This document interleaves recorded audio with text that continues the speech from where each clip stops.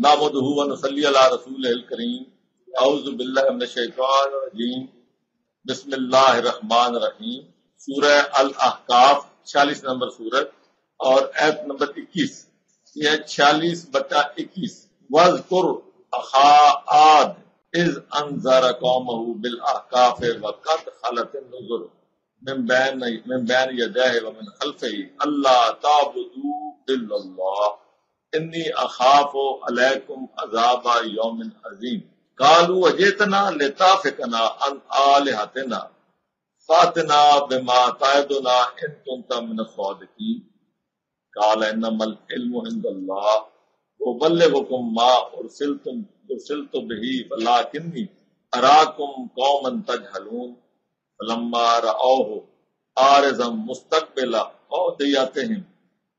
कालू हाजा आरिज़ुम मुमतिरुना, बल हुवा मस्तताजलतुम बिही रीहुन फीहा, अजाबुन अलीम तुदम्मिरु कुल्ल शैन बिअम्रि रब्बिहा, फस्बहु ला युरा फासबहू ला युरा इल्ला मसाकिनुहुम। कज़ालिक नजल कौमल मुजरिमीन, वलकद मकन्नाहुम फीमा मकन्नाकुम फीहि, वजअलना लहुम समम व अबसारम आफिदा। फमा अगना अनहुम समोहुम वला अबसारुहुम वला अफइदतुहुम मिन शैन। इज़ कानू यजहदून बिआयातिल्लाह। व हाका बिहिम मा कानू बिही यस्ताज़िर पिछला हम जो पढ़ के आए हैं, आज शायद आपको मालूम होगा कि एक दुनियावी रवायत के मुताबिक माँ का दिन मनाया जा रहा है। Mother day. पिछले दरस में हमने वालदेन के हवाले से जो पिछली हमने पढ़ी थी, पिछले रकू सारे इसी के हवाले से था कि वालदेन की तालीम, तरबियत, औलाद के बारे में और उसके बाद औलाद का, वालदेन के बारे में जो रिएक्शन है, जो रद्द अमल है, उसके बारे में कुरान ने दो मिसालें पेश की थी। लेकिन उसमें जो बाकी बातें तो अपनी जगह पे। एक बात जो ये थी कि जिसमें ऐत नंबर पंद्रह में अल्लाह पाक ने फरमाया था वसैन अल इंसाना बेवाले एहसाना। कि हमने इंसान को ये वसीयत की, ये हुक्म दिया। वसैना और एक होता है हुक्म देना, एक होता है वसीयत करना। अल्लाह पाक की जो वसीयत है, उसमें जिस हुक्म के साथ हिकमत, यानी हुक्म के साथ हिकमत, तलकीन, ये सारी चीज़ें और उसमें हुक्म में इंसान का अपना फ़ायदा। ये सारी चीज़ें जब इकट्ठी हो जाए तो अल्लाह ताला की तरफ़ से उसका बयान होता है कि बस सहना। यानी उसमें इंसान के अपने फ़ायदे के लिए जो बात की जाए। हुक्म अल्लाह का हो, लेकिन उसमें एक तो यह है कि अल्लाह पाक हुक्म देते हैं जिसमें ज़ाहिर तौर पर इंसान को कोई फ़ायदा नज़र नहीं आता। लेकिन वो हुक्म इस बुनियाद पे होता है कि वो किसी के हक के बारे में बात की जाती है, कि किसी की हक तलफी ना हो जैसे शिरक के बारे में हुक्म है। तो शिरक का ना करना उसमें किसी के फ़ायदे नुकसान की बात नहीं है, लेकिन ये अल्लाह ताला की हक तलफी होती है। वहाँ हुक्म है। यहाँ वसैना जो इंसान को अब वालदेन के बारे में बताया गया है तो इसमें ना सिर्फ़ हुक्म है, यानी ये उससे बढ़ के आगे बात आती है कि इसमें तुम्हारा अपना फ़ायदा भी वसीयत की जाती है तो। वसीयत दर हकीकत, नसीहत की एक दूसरी किस्म है नसीहत में हुक्म नहीं होता। वसीयत में नसीहत और हुक्म दोनों जब मिल जाते हैं तो ये वसीयत हो जाती है। तो वह वसैना, वसैन अल इंसान अब वाले एहसान एहसाना कि अपने वालदेन के साथ हुसन सलूक की बात इंसान तो की गई। और उसके साथ फिर ये बात की गई, वालदेन के साथ आगे जाके एक अलग बात की गई हम लत हो उम्मू हो कुरहा कि उसकी माँ ने उसको बड़ी तकलीफ़ के साथ, बेचैनी के साथ उसको हमल के तौर पर उठाए रखा और फिर उसकी पैदाइश के वक्त भी उसने तकलीफ़ उठाई। तो माँ को फिर एक निखार के सामने उसका लाया गया किरदार, माँ का।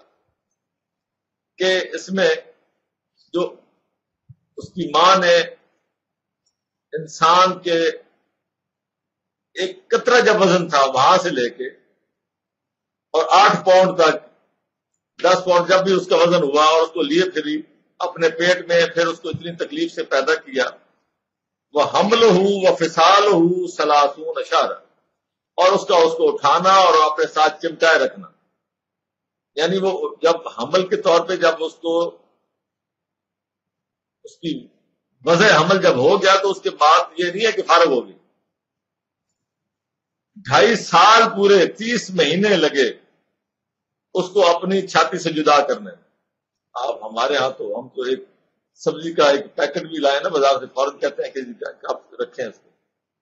जान छुड़ाए वज़न से। सफ़र में हम जाते हैं, हम कोशिश करते हैं कि कम से कम वज़न उठाना पड़े। इंसानी फितरत है। लेकिन ये माँ का किरदार बताया जा रहा है। माँ को यह अख्तियार है कि वो हमल ना ले। तो मैं माँ नहीं बनना चाहती।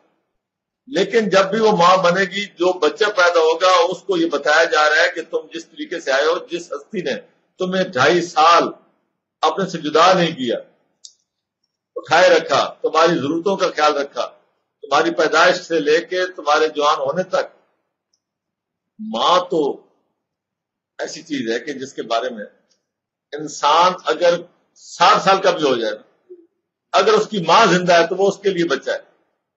वो उसको बच्चा ही तस्वर करती है। हमारे साथ खुद हमने अपनी माँ के हवाले से ये सारे जज्बात हमने देखे हैं दुनिया में देखे हैं, लोगों के हवाले से देखे हैं। और माँ का पता तब चलता है जब माँ जो है वो फौत हो जाती है। उस वक्त तक माँ का इंसान को एहसास नहीं होता। दुनियादारी में इतना गर्क होता है, अपने बच्चों में इतना मसरूफ हो जाता है। कि बात माँ जो है वो उसकी अहमियत या उसका जो एक ज़िम्मेदारी है, इंसान उससे गाफल हो जाता है। अल्लाह पाक ने तो जगह जगह पे ये बात की है कि आगे भी इसमें भी बात आ रही है कि तुम तो माँ को उफ भी न दो, वालदेन को। और एक और बात जो मैं करता हूँ अक्सर, कि दुनिया में इतात, हुक्म जो इतात का, अल्लाह की इतात, रसूल की इतात बोले लमर की इतात और उसके बाद जो इतात है वो वालदेन की इतात और अगर उस लिहाज से आप देखें, ये तो मैं ऊपर से शुरू हूँ। लेकिन सबसे पहली इतात होती माँ की, माँ बाप क्योंकि घर से इंसान जब घर में है, बाकी तो ओले लंबर तो बैठा है। उसके तो कवानीन बाहर लागू है। वो तो जब आप बाहर कदम रखोगे तो लंबर की आपको लागू होगी तात रसूल की तात भी बात की बात है, अल्लाह की तात भी बात की बात है। जब घर के अंदर तुम हो जब भी अभी तुम्हारे ऊपर थोड़ी सी तुम्हें जबान मिल गई है, थोड़ी सी तुम्हें कुवत आ गई है, लेकिन अभी अल्लाह की तरफ़ से तात तुम्हारे पर फ़र्ज़ नहीं एक खास उम्र बचपने से ऊपर। लेकिन एक बच्चा जब तो उस पर भी इतात माँ की पहले माँ बाप की फ़र्ज़ हो जाती है, अल्लाह की तरफ़ और ये इतात उस वक्त तक रहती है, जब तक वालदेन का साया उसके ऊपर मौजूद मैं आपको अक्सर ये बात करता हूँ, मुझे हैरत होती है उन लोगों की जो दरबार तलाश करते हैं। जो मजार तलाश करते हैं, जो चढ़ावे चढ़ाने के लिए जगह पका के कहीं दूर लेके जाते हैं, जिनके घर में अपने वालदेन मौजूद है, उससे बड़ा दरबार कोई नहीं। तो कौन से औलिया तलाश कर रहे हैं? जिसके अपने घर में वालदेन मौजूद हो, वो अगर अल्लाह के औलिया तलाश करता फिरे तो मैं हैरान होता हूँ उसकी अकल पे। ये दरकिक जो इस्लाम ने, जो कुरान ने वालदेन की जो अहमियत बयान की है, वो असल में हमने समझी नहीं। सबसे बड़ा दरबार वो तो, तो आपकी माँ का दरबार और अल्लाह ने इसमें एक और बात भी की है। ये वाहिद मामला है। यहाँ की इंफरादियत पैदा हो जाती है कि वालदेन अगर काफर भी हो तो भी इतात लाजम है। ये एक मुनफरद एजाज है वालदेन बाकी जगह पे आपको रुख्सत है। जो काफिर है तो उस पर रसूल की तात नहीं है। जब है ही काफिर तो उसे मानना क्या है? लेकिन जो आदमी कुरान मानता है, अगर उसके वालदेन काफर भी हैं तो भी वो उनकी तात का पाबंद है। सिवाय एक मामले में कि जहाँ अल्लाह की हर तलफी का मामला हो, यानी शिर का मामला हो तो वहाँ अल्लाह पाक ने उसको अपने मामले में उसको अलग किया, वरना तो दर हकीकत अपने बाद वालदेन को रखा। कि जब तक मेरी हद तलफी की आपको हुक्म ना हो, उससे पहले, उससे नीचे वालदेन की तात तुम्हारे ऊपर ये कुरान के हवाले से, वालदेन के हवाले से और भी बहुत सारे मकाम है, क्योंकि पिछले बार को भी हमने काफ़ी इस पर गुफ्तु की है, वो तुम्हारे तरफ़ का बकायदा ऐसा था। तो मैंने कहा, आज मदर डे के हवाले से भी हम इस पर बात कर लें। आज की जो शुरू हो रही है, वजकुर अखा आद, वजकुर ज़िक्र करो, याद करो। कहाँ से ज़िक्र करो? कुरान कह रहा है, वजकुर ज़िक्र करो, याद करो। तो ये बात कहाँ से याद करो? इसी कुरान में। यही कुरान ज़िक्र करवाता है, यही कुरान बताता है कि जिसकी बात हो रही है वो क्या बात है। अगर अखा आद, कौम आद के भाई, यानी हज़रत हूद के हवाले से, हज़रत हूद और कौम आद, इनकी अगर ज़िक्र करना है तो कहाँ से करो? इसी कुरान से करो। और आगे बताया, आगे उसकी तशरी कर दी।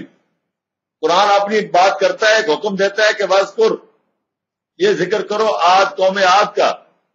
अब आगे बता दिया कि वो क्या ज़िक्र है। इस अनजरा कौम बिल आकाफ। कि जब उसने अंजार किया, आगाह किया अपनी नबूवत पेश की, अल्लाह ताला के आकाम बयान किए, अपनी कौम को बिल आकाफ आकाफ की वादी में। आकाफ एक वादी का नाम है। ये कहते हैं रेत के टीलों की सरजमीन आकाफ, हकफ, रेत के टीलों को कहते हैं। जो कौम आद के हवाले से जो तारीखी या जो गरफियाई जो उनका वो मस्कन है, वो बनता है ये जजीर अरब में। ये यमन और उर्दन के दरमियान एक सराय, जिसको सराय अरब कहते हैं तो ये वहाँ की एक कौम थी, कौम आद, जिनकी तरफ़ हज़रत हूद अलैहिस्सलाम को नबी बना के भेजा गया। अल्लाह पाक ने फरमाया ना, वाले कुल्ले कौम में हाथ। वाले कौम हाथ, हर कौम की तरफ़ एक हाथ दिया है। दुनिया की कोई कौम ऐसी नहीं जिसकी तरफ़ कोई ये देखें लक्को दब सहरा। ये बिलाकाफ का लफ्ज लगा के यहाँ बताया गया है। अल्लाह पाक ने कोई बस्ती नहीं छोड़ी। कोई इलाका नहीं छोड़ा, कोई सहरा था, दूर अफ्तादा इलाका था। लको दब सहरा है। ऐसा सहरा है कि जिसके बारे में अगर आप तारीख पढ़ें, इस पर मौलाना मदूदी साहब ने काफ़ी लिखा है। जो लोगों ने वहाँ जाके लोग गए हैं, जिन्होंने उस सहरा में गए हैं तो वहाँ सहरा इस तरह का है कि वो कहते हैं कि अगर दूर से वहाँ लोहे की कोई चीज़ फेंके तो वो खुद ब खुद नीचे धस जाती है। वहाँ आदमी को नहीं जाता। तो यानी इस तरह के खतरनाक इलाकों में भी जहाँ भी कोई इंसानी बस्ती मौजूद थी, अल्लाह पाक ने वहाँ अपना नबी भेजा। वस्कुर रखा आदिन इज़ अनजरा कौम बिल आकाफ वक़त हालत नज़र बैन यदय मिन खल्फे ही और उससे पहले और उनके बाद भी वहाँ नबी आते रहे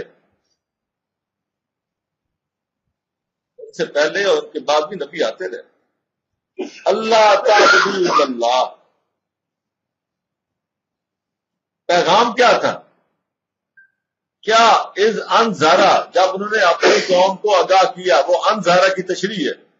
अनजार क्या किया मैं यही अर्ज़ कर रहा हूँ बजपुर अखाआत, इसकी तशरी क्या है? इस अनजारा कौम हो बिल आकाफ और उसके बाद वो अनजारा की तशरी क्या है? कि क्या अनजार किया? फरमाया अल्लाह ताबुदू इल्लल्लाह। अल्लाह के अलावा किसी के साथ वाबस्तगी अख्तियार मत करो। इन्नी अखाफ हो अलैकुम अजाबा यौम अजीम। मुझे डर है तुम्हारे बारे में। मुझे तुम्हारे बारे में डर है उस अजाब का जो यौम अजीम, बहुत बड़े दिन के, बहुत बड़े दिन में जो अजाब आपको आएगा, मुझे उसका खौफ अब यहाँ वही बात जहाँ जो हम बात कर रहे थे अभी आपस में, उसी की तरफ़ इशारा है। हज़रत हूद ने अपनी कौम से यही कहा कि तुम अल्लाह से वाबस्ता हो जाओ, अल्लाह के साथ शिरक ना करो। मुझे डर है तुम्हारे बारे में यौम अजीम का जो अजाब आएगा उस हवाले से। हम भी यही बात कर रहे थे कि हमारा काम है लोगों को आगाह कर देना। आगे क्यामत के दिन अल्लाह पाक उसे खुद ही जो उसके अंदर की बात है। हम जब फतवे लगाते हैं कि ये अंदर से खोटा है, ये अंदर से ऐसा है, हम किसी के जाहरी दावे को जब नहीं लेते हैं तो दर हकीकत हम जाती करते एक आदमी अगर कहे कि मैं मुस्लिम हूँ तो हमें मान लेना चाहिए, वो कहता है कि मैं मुस्लिम उसके बाद नहीं जी, ये अंदर से नहीं है, ये बाहर से ऐसा है, ये ये मामला अल्लाह के सबूत लेकिन हमारा काम है उसको पहुँचा देना बात का सही, कि सही क्या है, गलत क्या है। अब उसके बाद अगली बात आती है, उन्होंने आगे से कहा, अब ये जो अजाब है यौम अजीम का, ये हज़रत हूद को पाक ने पहले बता के भेजा कि तुम ये आखिरी मौका है अपनी कौम को जाके बताओ। वरना इनके ऊपर क्या आएगा? अजाब आएगा। तो वो जो अजाब उन पर हज़रत हूद ने उनको जो बताया कि अगर तुमने मेरी बात ना मानी, अब सबर का पैमाना लबरेज हो चुका है हुजत पूरी होने वाली है तुम्हारे ऊपर, अब आखिरी हुजत बन के मैं आया हूँ तुम्हारे ऊपर, तुमसे पहले भी काफ़ी रसूल आ चुके, तुमने नहीं माना तो अब तुमने अगर मुझे ना माना तो तुम्हारे ऊपर क्या आएगा? अजाब आएगा। ये हमेशा हुआ है। हज़रत नू ने भी आया कि यही बात की थी कि तुम पहले बहुत नबी आते रहे अब मैं आ गया हूँ। अगर तुमने मेरी बात भी ना मानी तो अल्लाह पाक ने हुजत के तौर पर मुझे ये बता दिया है कि मैं आखिरी हूँ। अगर तुमने ना मानी तो तुम्हारे ऊपर क्या आएगा? अजाब आएगा। इसी तरह हज़रत कौम समूद की तरफ़ हज़रत साल ने भी यही बात की कि उस अजाब की खबर बता दी। अल्लाह पाक ने उनको बता के भेजा था कि अगर आप तुम्हारी बात ना मानी तो उनको बता दो कि इसके बाद अजाब है। आप अगर देखें ना वो हज़रत नू अलैहिस्सलाम का इकहत्तर बटा वहाँ भी यही बात है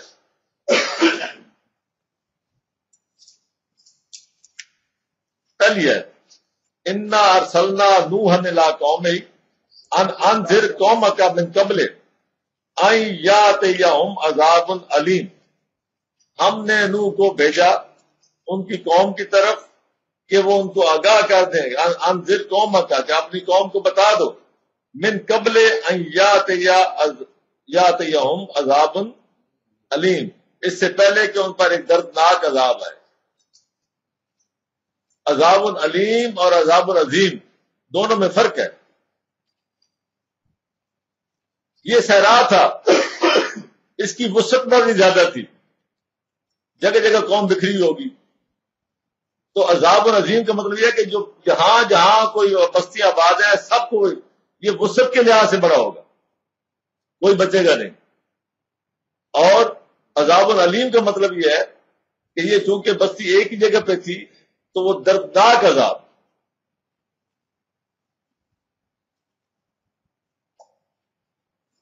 अब ये मैं आगे अल्लाह पाक ने फरमाया कि बात क्या थी? उन्होंने आगे नू ने यही बात की, काला या कौम में इन्नी लकुम नजीर मुबीन। और क्या क्या अनेबुल्ला अल्लाह की इबादत करो। दर हकीकत पैगाम एक ही है। हजर आदम से लेके आज तक इस कुरान का सब्जेक्ट भी यही है। हमारे, हमसे जो फार्म पुर कराया जाता है, उसके अंदर हम यही मानते हैं ईया का ना बोधो भैया के नस्ताइन ये है हमारा अल्लाह से जो हम दिन में पाँच नहीं, दस दफ़ा, पंद्रह दफ़ा, बीस दफ़ा करते हैं, ताकि हमें बार बार ये याद रहे कि हम क्या कह रहे हैं। ईया का ना वो दो भैया का। हर नबी ने अपनी कौम से ये बात की। बुनियाद यही है। जिस दिन हमने इबादत रब समझ ली, जिस दिन इबादत रब समझ ली, उस दिन हमारे ये सारे फिरके बनिया, ये सारे झगड़े, ये सारे खत्म हो जाए।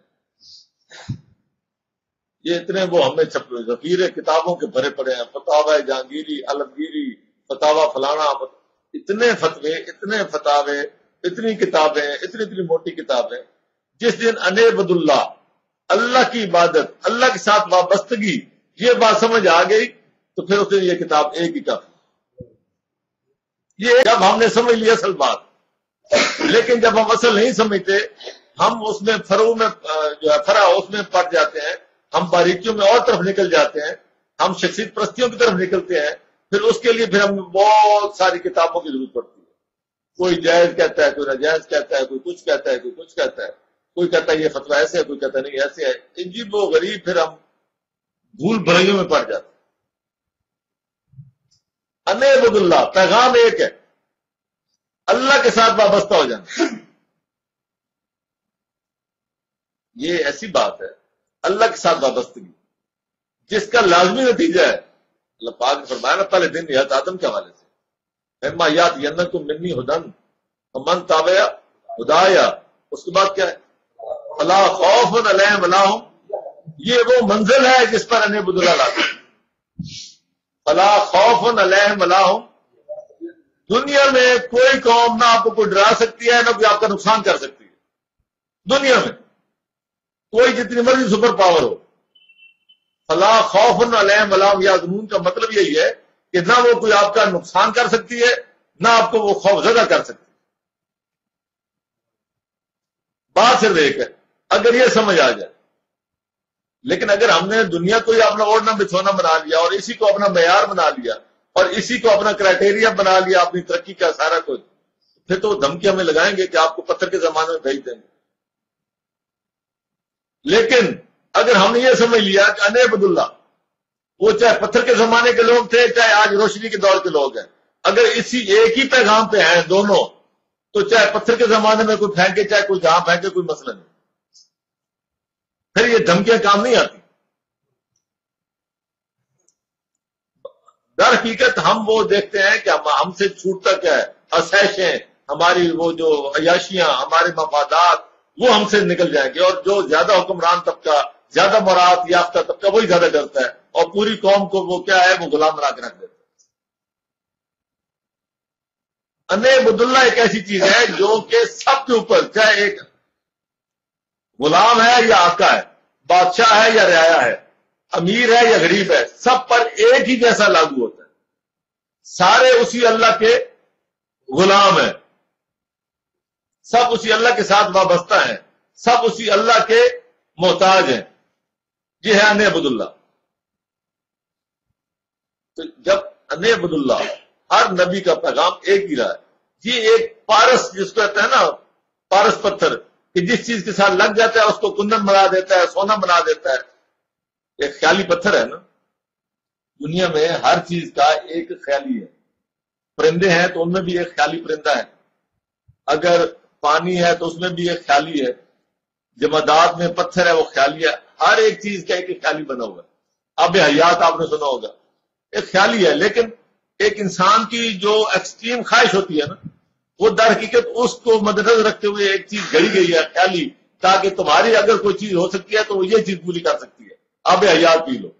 तुम्हारी ख्वाहिश जो है, वो क्या चीज़ पूरी कर सकती है? अब हयात। लेकिन ये क्या है? ख्याली। इसका मतलब कि तुम्हारी सारी ख्वाहिशें पूरी नहीं हो सकती। इसी तरह हुमा है, परिंदा। वो कहता है, जिसके सर में बैठ गया, वो बादशाह बन गया। तो ये इंसान की ख्वाहिश है कि मुझे इकतदार मिले। लेकिन ये सारा मामला, ये सारा एक ख्याली है। इसी तरह पारस पत्थर एक पारस है कि जिस चीज़ के साथ लग जाए, उसको सोना बना देता है। मैं ये कहता हूँ कि ये पारस जो है ना, वो है ये अल्लाह पाक का कलाम और उसका ये पैगाम अने बदुल्ला जो इसके साथ लग गया, वो क्या हो गया? वो कुंदन हो गया, वो सोना बन ये बात है सारी समझ की। हमें इस बात की समझ नहीं आती। मैं जब ये बात कर रहा हूँ तो मैं अपने आप में शर्मिंदा हो रहा हूँ। खुद भी, अभी। ये बात करते हुए भी कि ये ये बात जो हम समझ रहे हैं, जो मैं समझा रहा हूँ, हम खुद इस पर कितने अमल असल बात है अमल की। समझ तो गए हम। मैं भी समझ गया हूँ, आपको भी समझा रहा हूँ, आप भी समझे हुए हैं। मसला है इस पर अमल का। जितना इस पर यकीन होगा, उतना आपके साथ ला खौफ जुनून की कैफियत होगी। अगर कोई आदमी ये समझे कि मेरा इस पर कितना यकीन है तो वो उसका जो है ना मीटर, वो क्या है? वो देख ले, मुवजना किस चीज़ से करे कि वो कितना ला खौफन अलाम या जुनून। इस कैफियत में वो कितना है और कितना बाहर जितना बाहर है, उतना उसका ईमान। अने बदुल्ला के साथ पुख्ता है। ये वाहिद मामला बाकी सारी बातें इसके बाद शुरू होती हैं। अगर ये नहीं है तो उसके बाद बाकी बातें जो है, वो फिर आप ये नहीं है तो फिर बाकी बातें ऐसी हैं कि जो आपको और वादियों में ले जाएँगे। फिर उसके बाद फिरके भी बरहक होते जाएँगे उसके बाद आपके अपने नजरियात भी बरहक होते जाएँगे उसके बाद फिर आपके अपने जो रसूम और रवाज वो सारे बरहक होते जाएँगे अगर ये नहीं है तो ये जो मामला है अनेबुल्ला और यहाँ अल्लाह ताबदू इल्लल्लाह, कि मत किसी की इबादत करो सिवाय अल्लाह के। जुड़ जाओ किसके साथ? अल्लाह के साथ। यही हम कहते हैं, अल्लाह के साथ जुड़ जाओ। तो अल्लाह के साथ जोड़ने के लिए क्या है? अल्लाह के कलाम के साथ जुड़ जाओ। अल्लाह अल्लाह क्या है? अल्लाह के कलाम के साथ जुड़ो। जब अल्लाह के कलाम के साथ, हम कलाम, ये अल्लाह का कलाम ऐसा है, हज़रत अली का कौल मैंने पढ़ा है, कि वो फरमाता है कि जब मैं अल्लाह से कलाम करना चाहता हूँ तो मैं कुरान पढ़ लेता हूँ।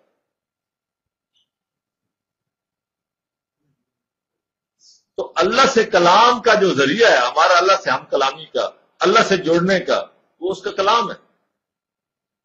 इससे बेहतर और क्या बात हो सकती है? कि अल्लाह का कलाम आपके साथ आपके साथ, अल्लाह के साथ हम कलामी कर सकते। अभी हम अल्लाह ही की बात कर रहे हैं। अल्लाह की बात सुन रहे हैं। इन्नी अखाफो अलैकुम अजाबा योम नजीम अगर तुम अनेबुल्ला अल्लाह ताबुदू इल्लल्लाह, अगर इस तरफ़ नहीं आओगे तो तुम्हारे ऊपर क्या आएगा?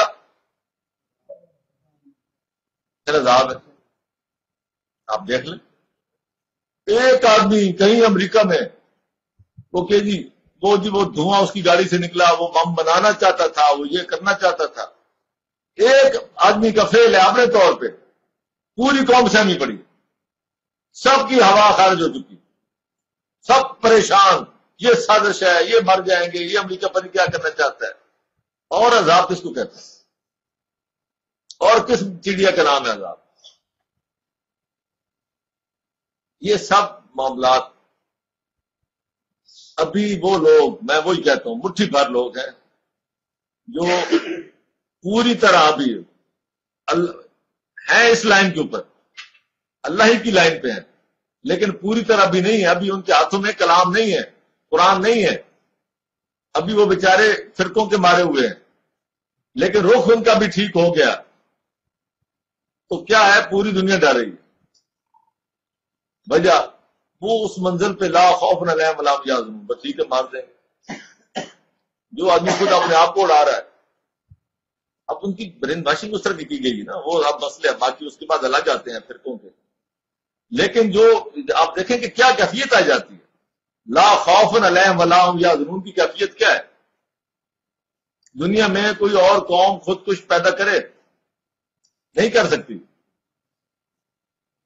लेकिन रुख ठीक होना चाहिए। लेकिन हम खुद तितर बितर बिखरे हुए हैं। हम किसी का रुख क्या ठीक करें? लेकिन आपको अल्लाह पाक की तरफ़ से एक ट्रेलर दिखाया जा रहा है कि अगर ये सारी कौम का रुख ठीक हो जाए तो ये खुद कुछ हमलों की ज़रूरत नहीं है। ये पूरी कौम का अपना वज़न, इसका अपना रोब इतना हो जाएगा, जब अल्लाह के साथ ये वाबस्ता हो जाएगी तो ये ला खौफ नलाम या जनून एक नबी एक नबी हज़रत साले कहते हैं, पूरी कौम को कि तुम सारे इकट्ठे हो जाओ और जो तुम मेरे खिलाफ प्रोग्राम बनाना चाहते हो बना लो। और जो मेरा बिगाड़ना चाहते हो, बिगाड़ लो। क्या बिगाड़ लेंगे? सारे मिलकर झगड़ रखे क्या क्या कर देंगे? एक बंदा मार देंगे। सो वट तो खत्म तो नहीं हो जाता। जो अल्लाह का बंदा वो तो नहीं खत्म होता। कौन कहता है, मौत आई तो मैं मर जाऊँगा? मैं तो दरिया हूँ समंदर में। तो ये कैफियत ऐसी हो जाती है, वो इंसान ललकारता फिर नज़दीक को नहीं आता। वो कैफियत कुरान पैदा करता है, और वो कुरान का पैगाम पैदा करता है, जहाँ क्या है? लाताबदू इल्लल्लाह। ये इसका सही अगर आपको समझ आपको नहीं मुझे भी सबको समझ आ जाए, पूरी कौम को समझ आ जाए तो वहाँ तुम अलाना इन तुम कैसे नहीं होंगे आप बुलंद? आपको निशानियाँ बताई जा रही हैं, दिखाई जा रही हैं कि एक मुट्ठी भर लोग हैं, सारी दुनिया उनके खिलाफ उनको रहने की जगह नहीं है। दुनिया आगे लगी हुई। दर हकीकत आपको बताया जा रहा है कि अगर आप सही रुख पे आ जाओ तो इन चीज़ों की ज़रूरत नहीं होगी, लेकिन दुनिया का आपके सामने थरथराट क्या होगी? आपका रोग कैसा होगा? लेकिन उसके लिए आपको अपने सूदो ज्यान दुनियावी सूदो ज्यान से उठना पड़ेगा। इससे बाला होना पड़ेगा। अल्लाह के साथ मुंसलिक होना पड़ेगा। अल्लाह के साथ यकीन, अल्लाह ताला के साथ वाबस्तगी इख्तियार करना पड़ेगी। और जिस कौम की हालत ये हो कि वो जनाब वो बम आया है तो वो सबज वो वो फलाने बुज़ुर्ग जो थे, वो दाता साहब, वो बम पकड़ते रहे और बचाते रहे हमें। तो अल्लाह पाक ने फिर आपको दिखाया कि जो इन सब के पीरान पीर बगदाद शरीफ, वहाँ तो बम नहीं पकड़ सके कोई किसी के। ये अल्लाह है जो बम को पकड़ता है और जो बम वालों को काबू करता है और जो आपको जिन पर बम बारी, उनको वो मुराल अता करता है। ये सिर्फ़ अल्लाह है। ये बंदों के बस की बात नहीं है। अल्लाह ताबदू इल्लल्लाह। ये इल्ला जो है, ये सबकी नफी करके आता है। ऐसे नहीं आता। वरना ये तो है, क्या? ये तो मिंदू निल्ला है। अल्लाह के साथ साथ, बाकियों को भी साथ लिए करो। इल्ला, ला इलाहा इल्लल्लाह।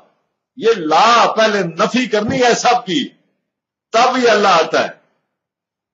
अगर दोनों आ गए, सब मिलजुल के काम चला लिया तो इसी का नाम शिरक है। शराकत इसी को कहते हैं। बिला शिरकत गैर। है अल्लाह। कालू अजय तना अब जरा सुने। ये अल्लाह ताबदू अल्लाह का आगे तशरी क्या आ रही है? क्या मसला था? क्या चीज़ छुड़वाई जा रही थी? ये इल्ला क्या? ये इल्ला जो है, ये क्या चीज़ छुड़वाना चाहता है? ये कुरान है। कालू अजेतना, उन्होंने कहा कि क्या तू इसलिए आया है?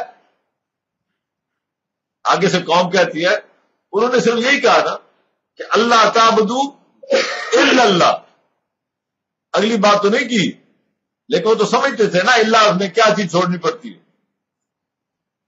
उनका कालू अजेतना, क्या तू इसलिए आया है? लेता फेकना अन आले हाथे ना मैंने आपको कहा था कि इलाह का मतलब क्या है? बाख्तियार। कहते, क्या तू इसलिए आया है कि जिनको हम बाख्तियार समझते हैं, जिनको हम बाख्तियार हस्तियाँ समझते हैं कि इनके हाथ में बड़ा कुछ है, क्या तू इनको छुड़वाने आया है? क्या हम इनको छोड़ दें? इनको इनसे हट जाए ये है, बहुत सारे जो छोड़ना पड़ता है। ये फिर मजार, दरबार, ये फिर नहीं रहते। अल्लाह के मुकाबले फिर कोई चीज़ नहीं रहती। फिर अल्लाह की ज़रूरत कब? देखें, बात यह कि हम जाते हैं कि जी, वहाँ जाओ, वहाँ अल्लाह करीब है। इससे ज़्यादा भी कोई गुमराही हो सकती है। हम अपने आप को तसली देते हैं। क्योंकि कई दफ़ा मैंने लोगों से पूछा और जब मैं उनको आगे कुरेदता हूँ फिर आगे लाजवाब हो जाते हैं। फिर उनको एहसास होता है आँखें फिर मैंने कई लोगों को देखा है कि उनकी आँखें जो है ना, वो बिल्कुल फटी भाई वहाँ देख देने क्यों जाते हो? वहाँ जी अल्लाह करीब है। अल्लाह अल्लाह की रहमत करीब है। मैंने कहा तो अल्लाह क्या यहाँ करीब नहीं है? अल्लाह तो कहता है, मैं तुम्हारी शाहरा के करीब हूँ। तो वहाँ क्या है? इसका मतलब कि तुम्हारा अकीदा यह है कि अल्लाह ताला जो है, वो हर जगह करीब नहीं है। चंद मखसूस जगह पर करीब है। इसका मतलब तो हयुल कयूम नहीं है। हर जो, हर जगह पे थामने वाला नहीं है। ना अक्रब मिन हबलिल वरीद नहीं है। शाहरा के करीब नहीं है। तुम्हारा ये अकीदा जो समझदार लोग हैं वो बाकी समझते हैं कि वाकई बात तो है। ये दर हकीकत जब हम कोई काम कर रहे होते हैं तो हम उसको सोचे समझे बगैर हम चल रहे होते हैं। बगैर सोचे समझे कि इसका मान जो हम करने जा रहे हैं इसका मतलब बनता क्या है? जब तक हम हर काम को अल्लाह के साथ रिलेट नहीं करेंगे कि इसमें अल्लाह का मकाम क्या रह जाता है। जो काम हम करने जा रहे हैं इसके अल्लाह का मकाम क्या है? मैं अगर चोरी करने जा रहा हूँ तो इसमें अल्लाह को मैं कहाँ फिट कर रहा हूँ? मैं अगर किसी से रिश्वत ले रहा हूँ तो इसमें मैं अल्लाह का मकाम क्या फिट कर रहा हूँ? वो कहाँ है? मेरी पोजिशन क्या है? अल्लाह कहाँ है? फिर मैं बंदे से बात करूँ। ये है हयुल कयूम अल्लाह किसी एक लम्हे के लिए भी गैब नहीं है। लाता खुजो सिनतों अल्लाह ये एक लम्हे के लिए भी गैब नहीं है कि तुम्हें बहाना मिल जाए कि यार जब मैं ये बात कर रहा था, उस वक्त अल्लाह ऊँग रहा था। तो जब भी आप इसी को आगे कहते हैं ना, वह माँ कादर का अल्लाह के मकाम, उसको समझना। ये तो मामलात हैं। इसी का नाम है वाबस्तगी। हम समझते हैं नमाज़ पढ़ना इबादत है। हम तर्जमा करते हैं इबादत को। ये जो नमाज़ है, ये भी इसी वाबस्तगी का इजहार है। जब हम उसके आगे हाथ बाँध के खड़े हो जाते हैं, उसी के आगे झुकते हैं और हत्या के उसी के आगे हम सर बसजूर हो जाते हैं तो उसी को सामने रखते हैं। ये इजहार है उसके साथ वाबस्तगी का, लेकिन उसके अलावा बाकी भी इजहार है। हर वक्त उसके साथ वाबस्ता रहना ये इबादत है।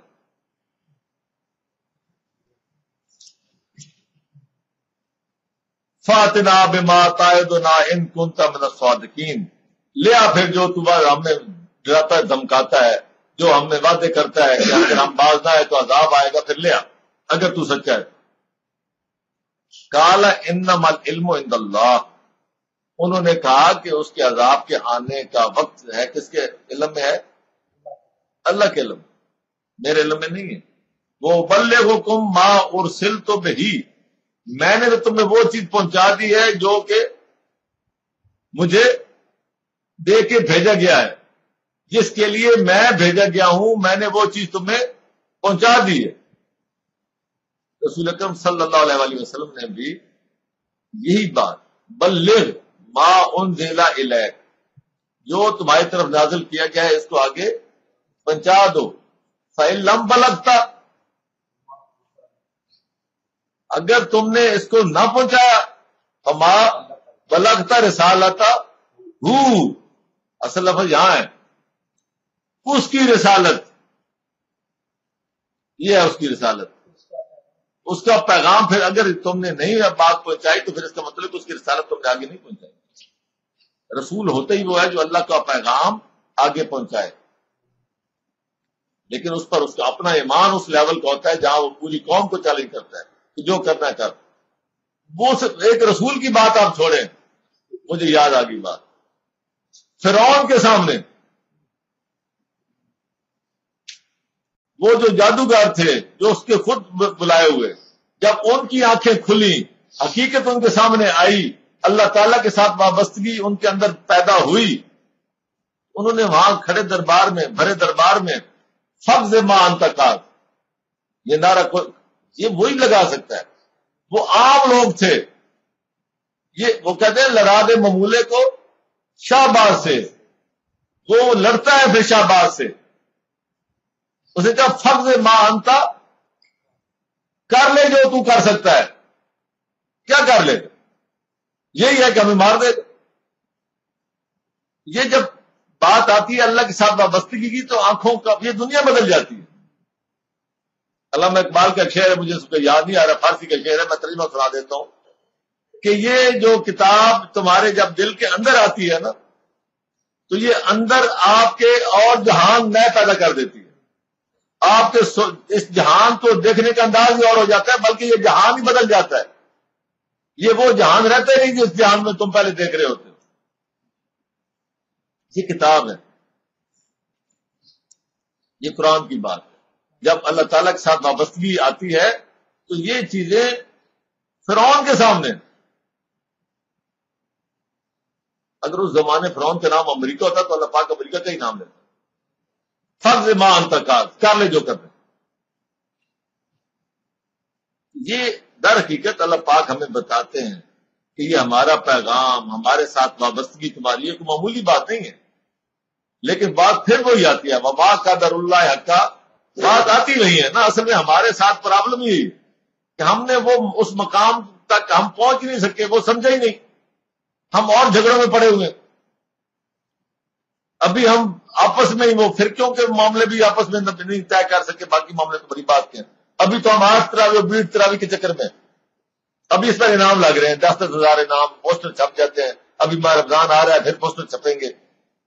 बीस तरावी साबित करने वाले को दस हज़ार रुपए इनाम, उधर से आएगा आठ तरावी वाले को इतना इनाम। ठीक है। आज तक किसी ने लिया, ना दिया। आगे जी। वला अराकुम कौमन तजहलून। मैंने अपना पैगाम तुम्हें पहुँचा दिया, लेकिन ये, मैं ये देखता हूँ कि तुम क्या हो? जहल कौम। जिसने इस रसालत की, अल्लाह ताला के पैगाम की कदर नहीं की, असल जहल वही लोग ये हमारी जहालत है। हम दर हकीकत जहालत की ज़िंदगी गुजार रहे हैं। इसके लिए पीएचडी होना या मजदूर होना it is one and the same thing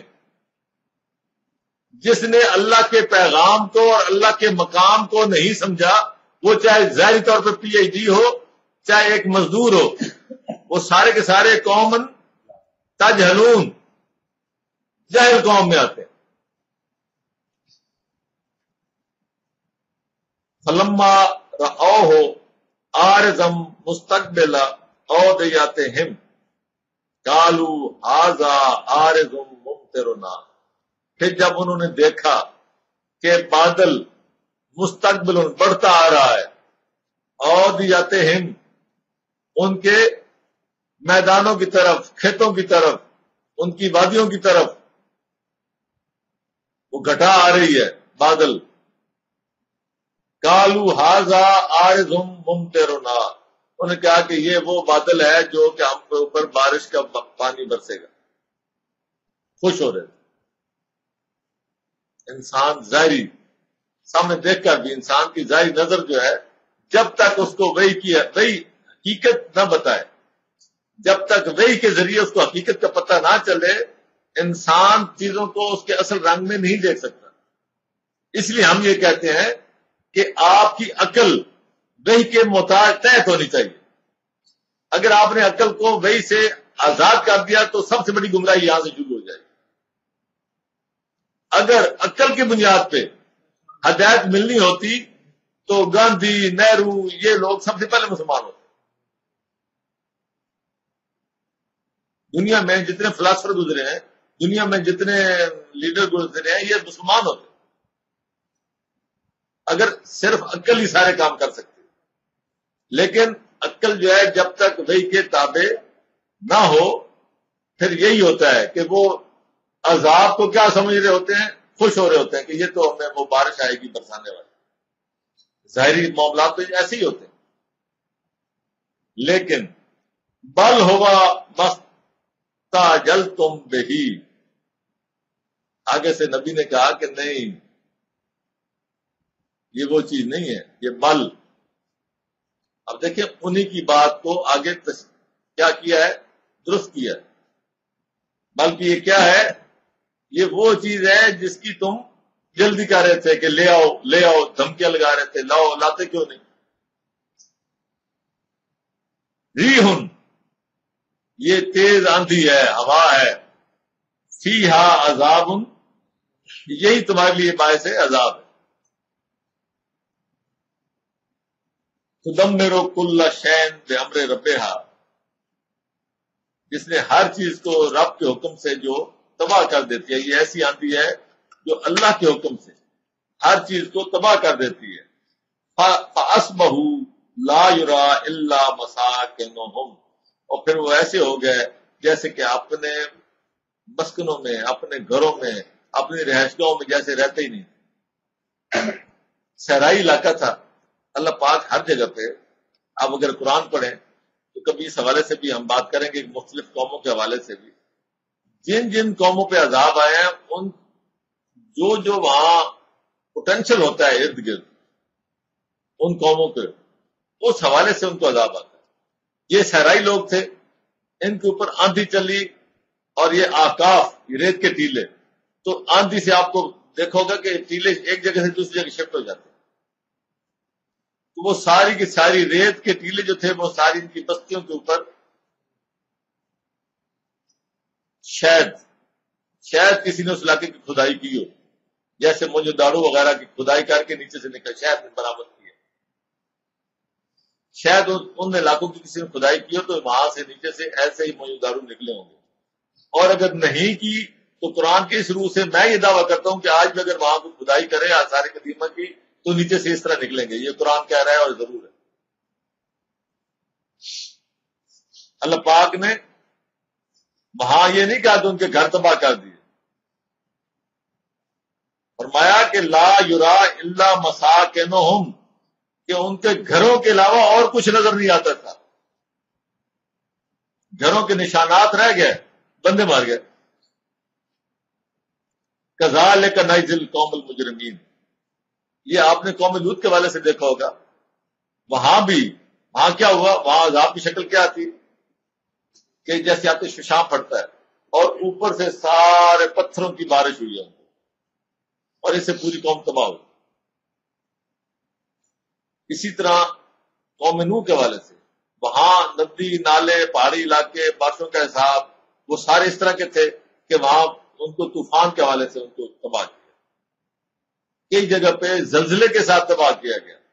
हर जगह के हिसाब से जो जुगराफियाई हालात थे, अल्लाह पाक ने उसी को इस्तेमाल करते हुए उनको तबाह बर्बाद किया। का नई दिल कौम मुजरमीन।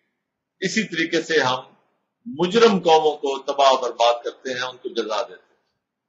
वलकद मकन्ना हम फ़ी मा इन मकन्ना कुम फ़ी है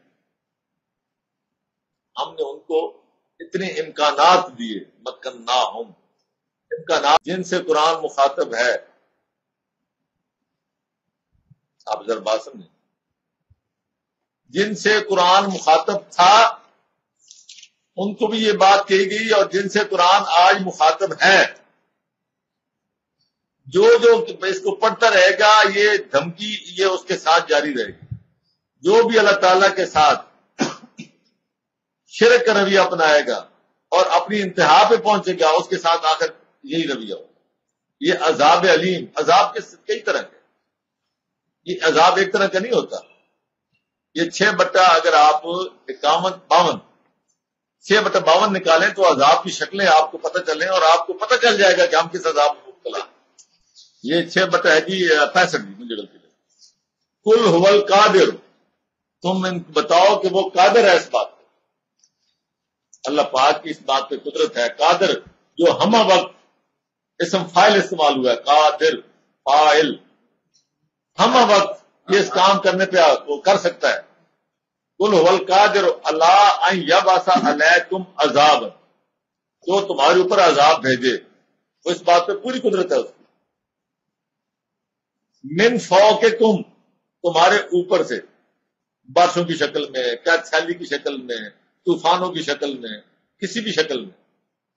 वो मिनता आते, अर जोले तुम, और तुम्हारे पाओ के नीचे से। यानी जलजले की शक्ल में, सैलाब की शक्ल में, किसी भी तरीके से। ओ यल बेसा कुम शैया अन। या तुम्हें लिबास पहना दे, गिरोह दर गिरोह। तुम्हें गिरोह दर गिरोह, तुम्हें फिरके बना दे। ये भी अजाब की एक शक्ल है। कि फिरके तुम्हारे अंदर बना दे। वायुजी का बाज तुम बासा बाजिन, और तुम फिर एक दूसरे की ताकत का मज़ा चखो। ये अजाब है। अल्लाह पाक फरमाते जैसे वो ऊपर से अजाब आता है, जैसे नीचे से अजाब आता है, इसी तरह ये फिरकों का भी अजाब है। कि तुम फिर एक दूसरे को अपनी ताकत के फिर मज़े चखाते रहो। वो तुम्हारे ऊपर बम मारे, तुम उनके ऊपर बम मारो। वो तुम उनको दहशत गर्द कहो, वो तुम्हें वो काफर कहें, लगे रहो। जैसे अभी हो रहा है। कभी यहाँ बम फट रहा है, कभी वहाँ बम फट रहा है। न मरने वाले को पता है, मेरा क्या कसूर है? ना मारने वाले को पता है कि मैं इसको क्यों मार रहा हूँ। ये अजाब है। ना ना समझने वाले के लिए तो कोई मसले नहीं। कुरान है। उन ज़ोर आगे अल्लाह पाक क्या फरमा रहे हैं? जुर जरा गौर करो। कैफन सरफुल आयात हम यफकहून। हम किस तरह अपनी आयात बार बार तुम्हें सुना रहे हैं, ताकि तुम्हें कुछ अक्ल आए। तुम कुछ सोचो। कुछ सोचने वाले बनो। ये हम अपनी आयात तुम्हें बार बार क्यों सुनाते हैं? और आगे तरीका बताया, वजह यानी अजाब की वजह क्या होगी? वह कजब ही कौमों का, वह वल हक। इसकी तकजीब की तेरी कौम ने। जबकि ये हक यही है। वल हक। हक ये, जो हक था उसकी तकजीब कर दी। इसकी, कुल लस्तो अलैकुम बेवकील। तुम इनको बता दो कि मेरे नाम ले लेके वो तुम ना करना कि भाई हम, उनकी वजह से कुछ हो जाएँगे। मैं तुम्हारा वकील नहीं। निकुल नबा मुस्तकर, हर खबर का एक अंजाम है। वसौफ लमून और तुमको भी अनकरीब इसका पता चल जाए।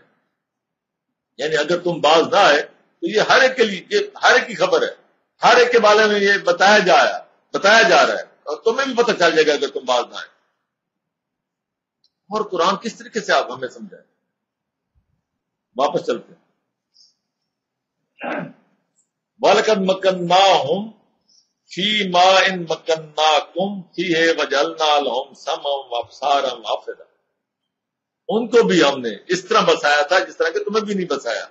इतने वसायल दिए जो तुम्हें नहीं दिए। और फिर क्या? वजलना लहम समम अबसारम वाफिदा हमने उनके लिए बनाया क्या? कान, आँखें और दिल। लेकिन आप जरा समझे ये बात क्या की जा रही इस सारे का अगर जमा करें तो अल्लाह पता है कि हमने उनको क्या दिया? अकल शूर से नवाजा। यानी उनको बेहतरीन। हमने उनको यानी पैगाम कुरान का समझने के लिए उनको कान वसाइल दिए। बात सुनने की कोई समझाने वाला अगर हो तो कल को ये न कहें हमने सुना ही नहीं। आँखें दी वो देख सकें तो उनके साथ क्या हो रहा है। अफेदा दिमाग सोचने समझ यानी वो जो कहते हैं ना कि मामलात को सही अखज करना रिज़ल्ट तजिया करने की सलाहियतें, तमाम अकल शूर से उसको नवाजा उनको। वो कोई ऐसे नहीं थे। और आगे फमा अगना अन होम सम होम वला सार होम वला अफेदत होम मिन शहर उनको ये अकल शूर की सलाहियतें ये उनकी सारी जो थी तालीम और तरबियत, वो जो उनकी थी सलाहियत, तजिया करने की, मामला फहमी की, ये सारे मामले उनके किसी काम ना आ सके। क्यों नहीं है? ये देखें, ये क्या बात है? ये वही है जो आजकल आप जब भी चैनल खोले, वहाँ वो एक एंकर पर्सन तीन चार दानिश्वर लेके बैठा होता है। ये है जी, वो है जी, वो हर जगह पे दानिश्वर बैठे हैं, चार चार, लेके बैठे हैं। सारे चैनल भरे पड़े हैं। ये है कि हमने उनको क्या दिया? समूह वला अफसार हो व अफेदत। तजिया करने का, मामला फहमी का सारे वसायल उनको दिए। लेकिन उनके किसी काम नहीं आए। वजह? जैसे आज हमारे कोई काम नहीं आ रहे। लगे हुए तजिए हो रहे हैं, ये है, वो है, लेकिन आप कहीं से कोई जान नहीं छूट रही। कुरान बताता है, रास्ता बताता है, हमारे अंदाज ही और है। फरमाया कि उनको किसी काम ना आया, क्यों? इज़ कानू यजहदूना ब्यायातिल्लाह इज़ कानू यजहदूना ब्यायातिल्लाह ये यजहदून क्या मैना?